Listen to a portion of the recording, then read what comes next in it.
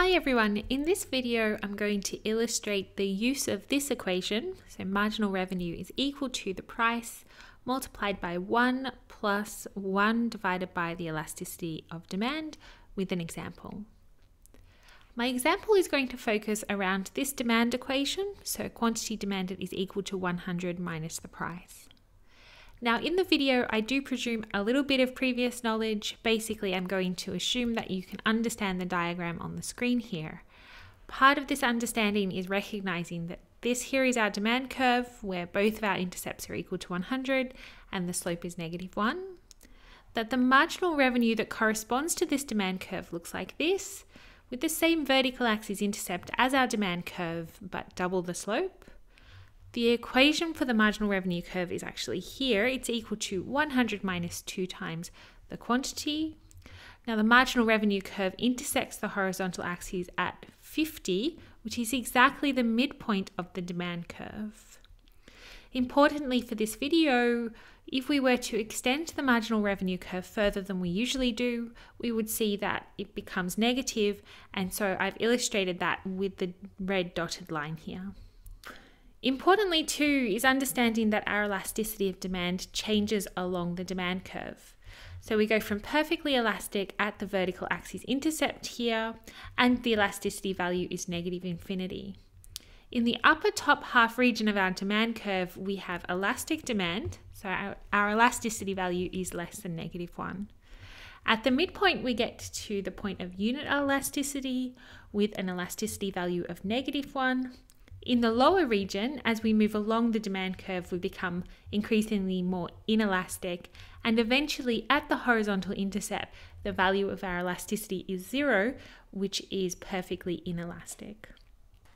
So that's our background. Just to avoid a common confusion, I'm just going to note that we read this diagram by considering different price and quantity combinations from our demand curve and then we read up from the quantity to find marginal revenue. So for instance, as you can see here on the screen in green, if we have a quantity of 20, that corresponds to a price of 80, and reading up from the quantity, that level there is our marginal revenue associated with that quantity, which is equal to 60, uh, which you can calculate by using the equation for marginal revenue that's at the top of the screen. So that's basically our background. If you need help with any of this uh, theory, I've linked to some videos in the description and also above uh, that go through this all. All right, well, in this video, the equation that we're interested in links marginal revenue to the price and our elasticity of demand. From our diagram here, we can already make some connections between these elements. And I have four points in particular that uh, I've noted of interest.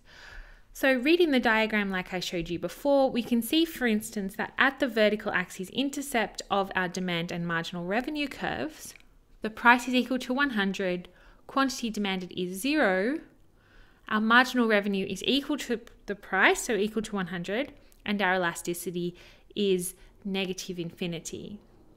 So that's our first point.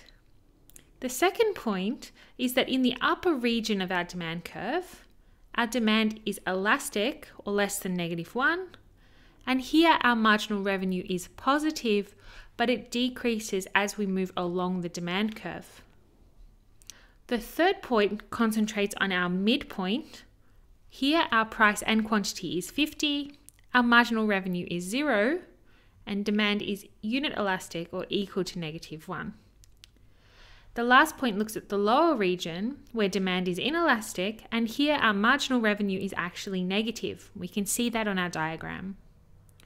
The numerical values of our elasticity here will be between 0 and negative 1.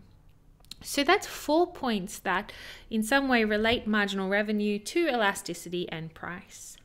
What I'm going to do now is to demonstrate these four points by using our formula, and in doing that you can get a feel for how the formula can be used.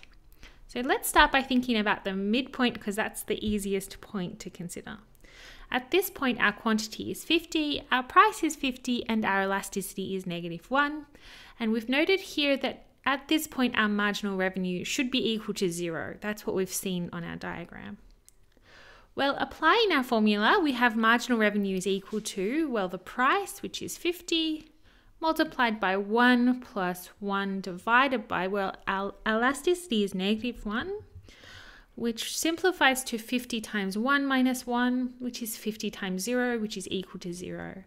And that's exactly what we expect. At the midpoint, the marginal revenue associated uh, with that quantity, with that area of the demand curve, is exactly 0.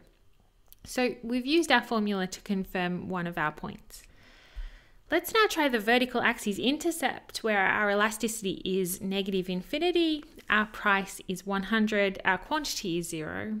So our formula would be, well, marginal revenue is equal to the price, which is 100, multiplied by 1 plus 1 divided by negative infinity. The question is here, how do we evaluate uh, this term here, 1 divided by negative infinity? Well, actually, this value is technically undefined because negative infinity is not an actual number. Well, what we can do in cases like these is do something we call taking the limit. So to give a quick explanation, we're just going to consider the general case. So in this general case, we're going to evaluate the term 1 over x, where x is some variable, and we're going to think about the value of 1 over x as x goes to either, we can do plus or minus infinity because it actually comes out the same. And actually this limit is equal to 0. What we're doing when we take the limit is we're considering the value of this fraction, 1 over x, as x goes uh, either really, really, really big, so towards infinity, or really, really, really small, towards uh, negative infinity. Now, the value of this limit comes out as zero, and this makes a lot of sense if we think about it. For instance, considering the case if x goes towards negative infinity. Well, let's start something at kind of slightly negative. So if x was, say, negative 2, then the value of the fraction would be 1 divided by negative 2, which is negative a half. If x was a little bit more negative, so a little bit further towards negative infinity, well, let's just say something like negative 4, well, we would get 1 over negative 4, which is actually larger than 1 over negative 2, and it's closer to 0. If x was really negative, say negative 800, the value of the fraction would be, well, 1 over negative 800, which is again a larger number. It's closer to 0 than either 1 over negative 4 or 1 over negative 2. And the idea here is that as the denominator gets infinitely large in magnitude, that the value of the whole term approaches zero. So if we apply this to our equation, we evaluate marginal revenue, we're going to take the limit as our elasticity of demand approaches negative infinity. And we're going to get the same result as the general case, so we can take this as being equal to zero. So we'll get marginal revenue is equal to, well, our price is 100, and uh, then we have 1 plus, uh, 0. And that's equal to 100, which is again confirming what we expected um, from our points that we outlined before. So let's do something a little harder. Let's have a think about what happens in the elastic region of the demand curve, that upper half of the demand curve, which, if you recall, corresponds to this portion of our marginal revenue curve. Now, our equation should give us the result that marginal revenue will be positive but decreasing as we move down the demand curve as demand gets less elastic. Well, one thing that we do know is that our price is above 50 in this region, so price is positive. And we do know that our elasticity in this region will be less than negative 1. Now, evaluating what happens in the parentheses is the hard part of thinking about this equation, but once you get it, you'll be, you'll be fine. I find it useful to think about it like this. Because our elasticity is negative, we can think about the terms in the parentheses as 1 minus 1 divided by the absolute value or the magnitude of the elasticity. If our demand is elastic, we can tell that the value of this fraction will always be smaller than 1. As a consequence, the value of the parenthesis will always be positive because 1 minus something less than 1 is something positive. And our price is positive in this region, so we get a positive multiplied by another positive, and so marginal revenue comes out positive overall. For instance, if our elasticity was negative 3, then the value of the parenthesis would be, well, we have 1 plus 1 divided by negative 3. We can take the negative out and we're left with 1 minus 1 over 3, which is 2 over 3. 2 over 3 multiplied by this positive price will give us a positive marginal revenue. To give another example, let's think about if our elasticity was more elastic. So it would be closer to the intercept, it would be higher on the demand curve. And let's say it was something like negative 15. Well, the terms in the parenthesis would end up to be 1 plus 1 over negative 15, which simplifies to 1 minus 1 over 15, uh, and this is equal to 14 over 15. And actually, this value 14 over 15 is closer to 1. And so, hopefully, you've noticed or you can think about this and consider that the more elastic we are, the larger that magnitude on the denominator of the fraction will be, and the closer the term in the parenthesis will be to 1. And this means that our marginal revenue will be larger. So this equation then explains the decreasing nature of our marginal revenue curve since as we move along the demand curve, we get less and less elastic.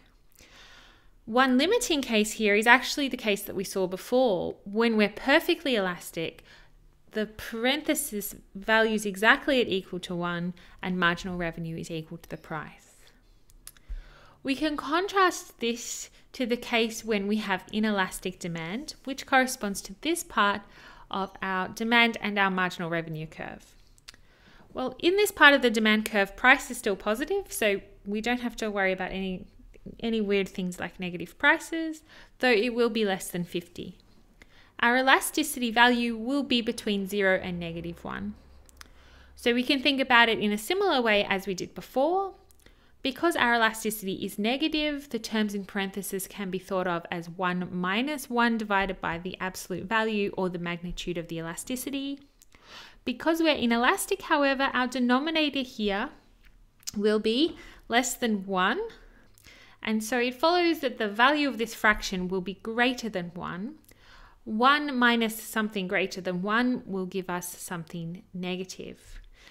So whilst the price is positive, it will multiply something negative in our equation and marginal revenue ends up negative. So for instance, if our elasticity was negative a half, then the value of the parenthesis would be 1 plus 1 divided by negative a half. We take the negative out and we're left with 1 minus 1 divided by a half. 1 divided by a half is 2, so we're left with 1 minus 2 in that parenthesis, which is just equal to negative 1. Negative 1 multiplied by a positive price will give us a negative marginal revenue. And this is consistent with our points before and uh, demonstrates what we wanted to demonstrate. Actually, I'll leave it to you to play around with this equation, and you should see that the more inelastic we are, the more negative our marginal revenue is. And so that's it. I hope that this video helped you understand or approach uh, thinking about this equation that links marginal revenue to price and elasticity. Uh, if it did, please like and subscribe. If you haven't already, um, have a lovely day or night though.